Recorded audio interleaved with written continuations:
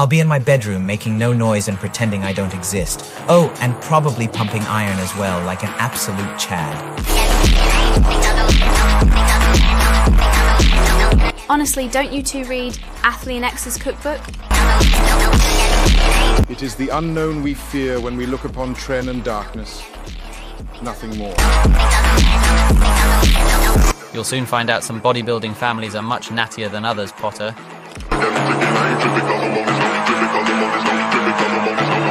What three drops of Veritaserum do to you, Mr. Potter? Because it gets me in the mood to measure how much girth I've gained since my last bodybuilding competition. Sunshine, PEDs, Buttermellow, turn this stupid fat rat yellow. And it really is fat. It must have stopped using MyFitnessPal.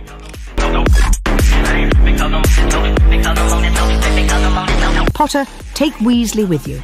He looks far too happy over there, hitting front double bicep in front of the mirror of Erised.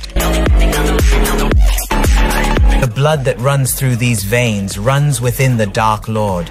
It's no wonder we're both jacked. Potter! What would I get if I added powdered root of asphodel to an infusion of wormwood? A better pre-workout, you say? I have gone further than anybody along the path that leads to winning Mr. Olympia. You all right, Harry? You seem very quiet. Is it because you think you're nearing your genetic limit? Things we lose have a way of coming back to us in the end, if not always in the way we expect. So if you've lost mass after a cut, have hope because it might appear somewhere else.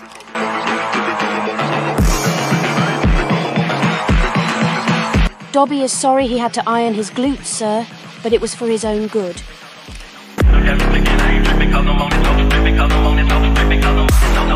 You've got dirt on your nose, by the way.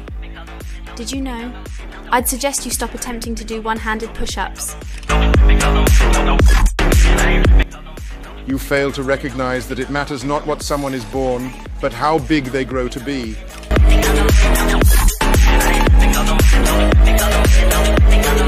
Longbottom, if brains were gold, you'd be poorer than Weasley. And that's saying something. Percy wouldn't recognize a joke if it danced naked in front of him wearing Dobby's tea cozy. And since Dobby has put on about 100 pounds of dense meat, that tea cozy would be quite loose on Percy, wouldn't it? Five points will be awarded to each of you for sheer dumb luck. You simply don't have nearly enough mass or symmetry, so consider yourselves lucky.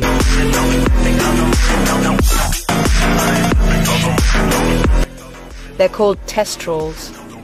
They're quite gentle, really. But people avoid them because they're a bit too aesthetic.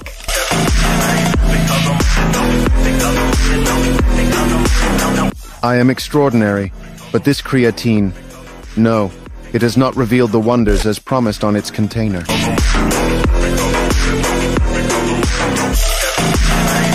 Dobby is used to being called a fake natty, sir.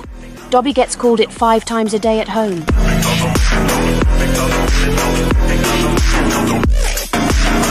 No more'n four to a boat. You're each about 200 pounds of pure beef. If you flex so much as a single muscle fiber, we'll all sink down into the Black Lake, right here, right now.